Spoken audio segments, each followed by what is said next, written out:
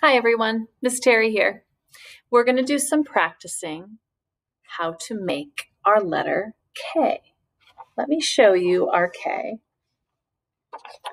Here's a K. We're going to build that with our wood pieces. Here's our big K and our little K. We're going to be doing some cutting around our Ks today. And here is the K if you want to make a Play-Doh K. All right, we are going to start with our wooden pieces today.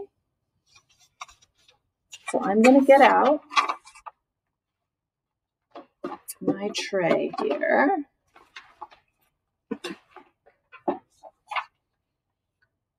And here is my K. Now remember the different shapes, all the pieces for our letter K. Sorry, let's think about all of the wooden pieces we have to make our letters. So we've made all the letters up until K. We've made A, B, C, D, E, F, G, H, I, J. Those are all the letters we've made using Play-Doh and wood pieces and all the different ways we've practiced. So let's get out our wooden pieces and see which lines and curves we'll be using.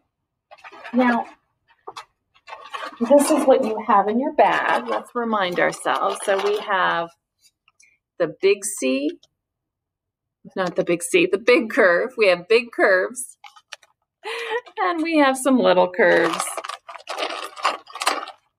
big curves and little curves. And we have long lines and we have short lines. Now, did you notice if there were any curves in RK? Do we need a big curve to make a letter K? Nope. Do we need any little curves to make our K? No. All we need are lines. A long line and two short, short lines. One, two. Oops, sorry. One and two. Let's build that. There's our long line. Can you see that? Our long line. And then we just need a short line up here and a short line here, just like that. There's our letter K with our wooden pieces. Now I'm going to use my finger. So if I'm going to make a K, remember we always start our letters at the top. See where our happy face is? We always start our letters at the top. I'm going to pretend to draw one with my finger.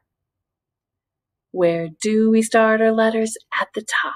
I'm going to go down, back to the top, and go down, down, down, down, down, down, down, down.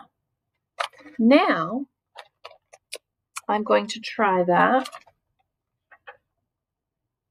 with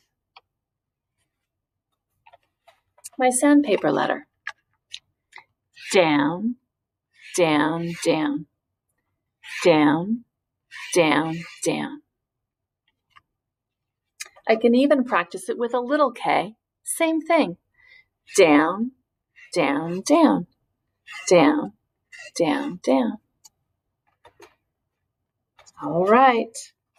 I think we should practice that with one of my pens.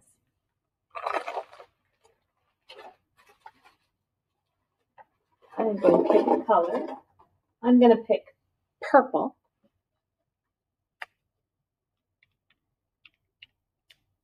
And I'm going to make some Ks. I think I'm going to hold it this way. And I'm going to start over here. Remember, where do we start our letters? At the top. I'm going to start at the top and go down, then back up down, down, down, down, down, down, down, down, down, down, down. You can practice these with chalk on the sidewalk, um, on your patio with chalk. You can practice with crayons or markers. You can use whatever you want. You can use your finger in salt or sand. Um, you can build these with Play Doh. You be creative. You do it the way you'd like to do it. But this is how you make a K, and you need lots of practice. Lots and lots of practice in all of the fun ways you can think of. Because when you get to kindergarten, you're going to be doing lots of writing. You're going to do so many letters that you'll be able to create words and sentences and things will take off for you. You'll be able to write all kinds of things. So, right now, you need to have fun and learn and explore one letter at a time, just like we're doing it. So, you keep practicing these at home. It's going to get a lot easier. Okay, I am also going to try it with a marker. Sorry, with chalk. Um, Miss Terri's going to take a small piece of chalk and I'm going to do some K's up. I'm going to do one big K up here. How about that? And I'm going to go down, down, down. There's my K. Now I'm going to practice it on the line. So to remember, remember how we talked about before, when you get to kindergarten, you're going to need to start practicing it on lines like this. There'll be a solid line on top, a solid line on the bottom, and then a dotted line in the middle it'll look like this down, down, down, down, down, down, down, down, down, down, down, down, down, down, down, down, down, down, down, down, down. So that's our big K. We won't practice the little k today, but that's what the big K is all about. All right. Now, I'm going to let you do the Play-Doh at home. So remember how we did this with some of our earlier letters. If you're not sure about how to do the Play-Doh letters, you can go back to some of our earlier letters like A, B, C, and D. There's lots of examples in those um, videos on how to make those letters, on how to use the Play-Doh. So you're welcome to do that. And right now, we're going to practice some cutting. I'm going to get out my starter kit right here. And I'm going to take out a scissors. And first thing I'm going to do is I am going to do a shape around my K's that I can then um, color. I'm sorry. My student's having a hard time today.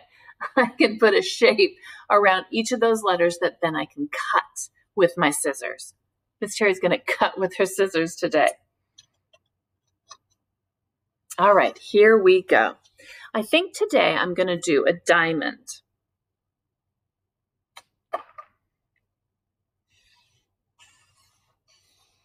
Like a kite.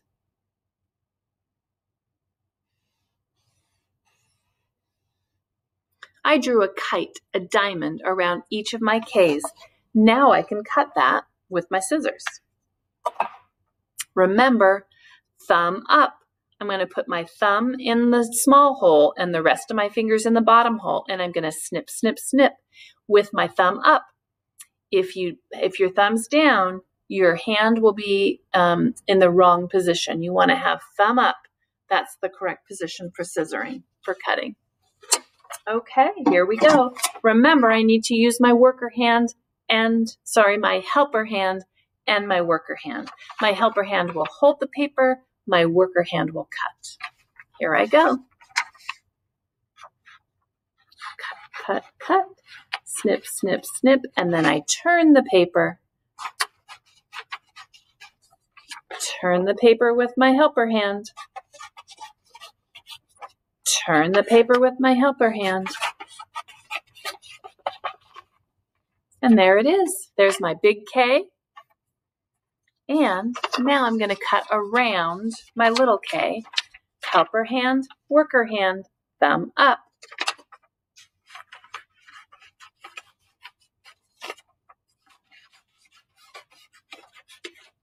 Turn the paper. Turn the paper. All right, it's not perfect, but I did pretty good. All right, thank you for practicing that with me today. I'll see you on another day. Bye now.